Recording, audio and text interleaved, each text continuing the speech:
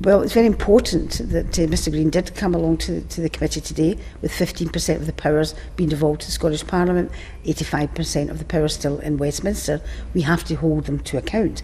One of the good things that came out of it, obviously, was that any empl employability programme devolved to the Scottish Parliament will not be subject to sanctions and basically conditionality. That was a plus. Other questions have to be answered. We'll be writing to Mr Green. We'll be following this through. So basically watch this space. We'll be coming back to Mr Green.